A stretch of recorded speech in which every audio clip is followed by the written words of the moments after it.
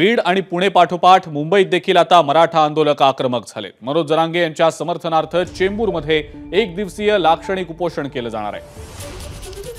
उद्या म्हणजे बावीस सप्टेंबरला हे लाक्षणिक उपोषण केलं जाईल. जरांगेंच्या समर्थनार्थ मुंबईतल्या चेंबूर इथं उद्या बावीस सप्टेंबरला एक दिवसीय लाक्षणिक उपोषण केलं जाणार आहे. एबीपी माझा. उघडा डोळे बघा नीट.